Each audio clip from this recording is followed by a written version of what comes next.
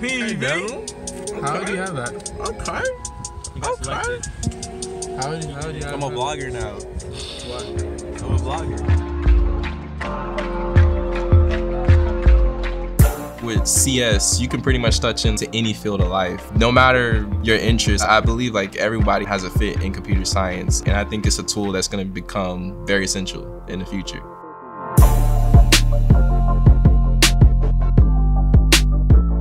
I'm Jonathan McKinley, and I'm a sophomore computer science major at Florida A&M University, and I'm participating in the Google Tech Exchange program.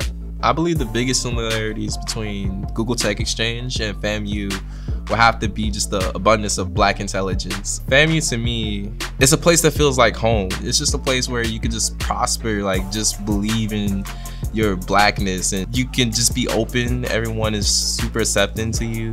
It's just a creative place where like just black innovation just eh, it just flourishes there. My best experience since being on campus from the Google Tech Exchange program has to be just meeting the different students from the various schools, just the different HSI institutions, HBCUs that attended. Just just like very motivating to be in as well. Like just knowing like you're not seen as like being too geeky or you're not welcomed in a sense. You don't get that feeling in the program. You just feel very welcome to just engage in CS fully while just being around with people who look like you. Jonathan is a really hardworking student. He has a very entrepreneurial mindset, um, and as seen from some of the classes he's taken here, I definitely see him being one of the pioneers in terms of entrepreneurship. All right, but yeah, we're doing machine learning and yeah, just trying to be productive for the night. Uh, week back from spring break, just trying to get on top of things. Uh, this semester only has like six or five weeks left, so we're just trying to grind it out. You know, get those 4.0s, 4.0 season, and yeah, peace out.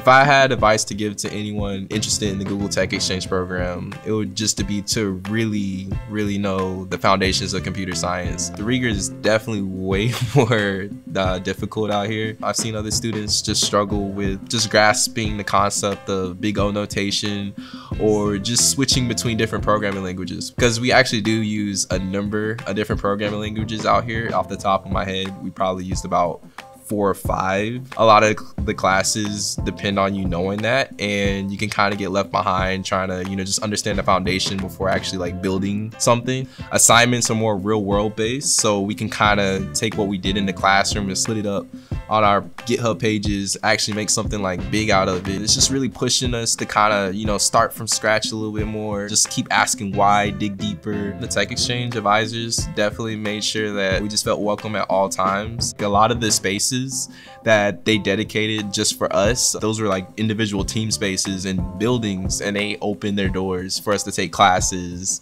and just hang out at. Most Googlers, they're pretty excited to learn about the program. Like once they ask like, oh, are we interns or whatever? And then we tell them about, oh, oh, we're in Google Tech Exchange. They're pretty excited about it.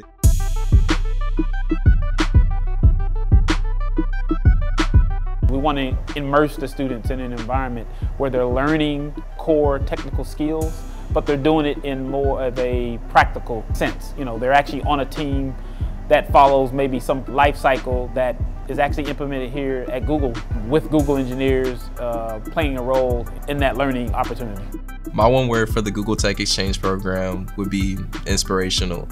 It's just inspired me in so many ways to just take things to the next level for a future to just be more financially stable and secure the bag.